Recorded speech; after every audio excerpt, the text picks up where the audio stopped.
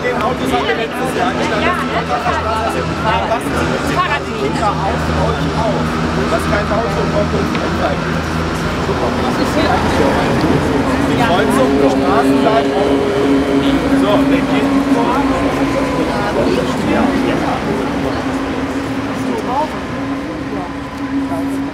Wenn jeder nur vom Frieden spricht, so wird er niemals wahr.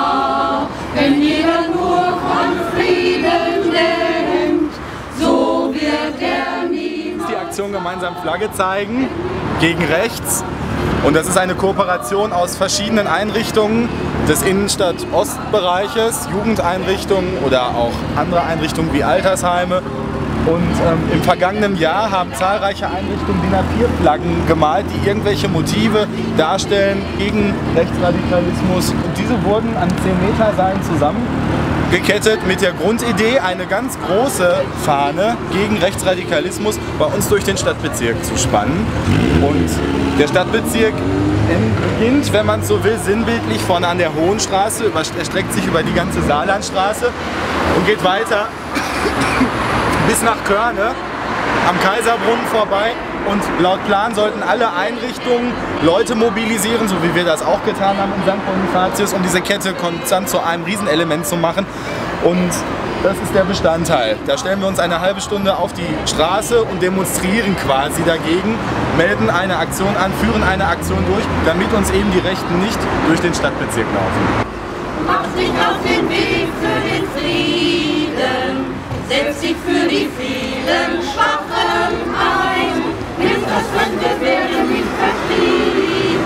denn nur am Frieden denkt, so wird er niemals wahr.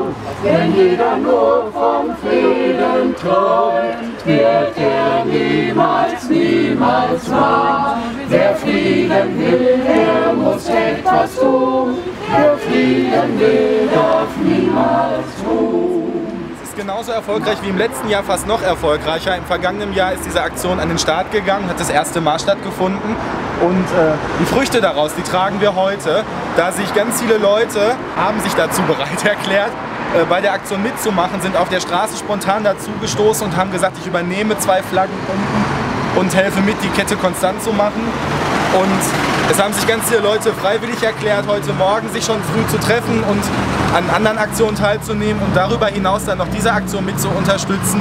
Im Prinzip nochmal eine 50%, fast eine 100% Steigerung zum vergangenen Jahr. Nur, dass wir diesmal die ganze Saarlandstraße voll haben, bis zum Ende. Er muss etwas tun, wer Frieden will, darf niemals. Mach dich auf den Weg für den Frieden. Mach dich auf den Weg, den Weg, den Weg zum Frieden.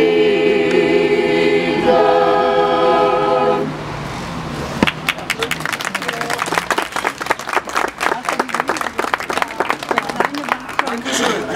In diesem Sinne eine gute Aktion.